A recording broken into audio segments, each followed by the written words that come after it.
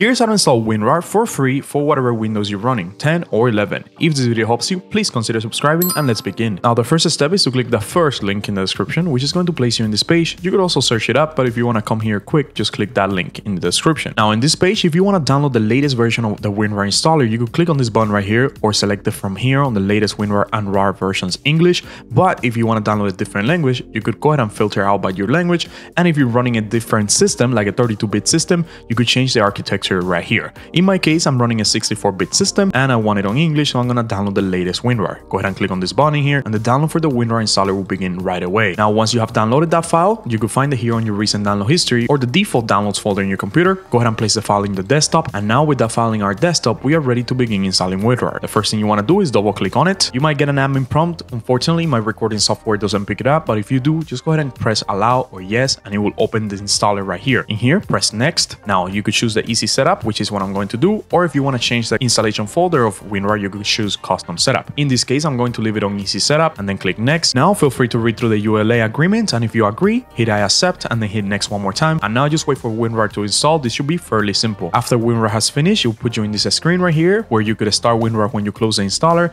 or you could create a desktop shortcut or even create a start menu shortcut. I'm going to unselect these two in here, but you are more than welcome to keep them on if you like. I'm just going to leave it a start WinRAR on and then hit finish. And then since I selected to open WinRAR, it's going to open right away.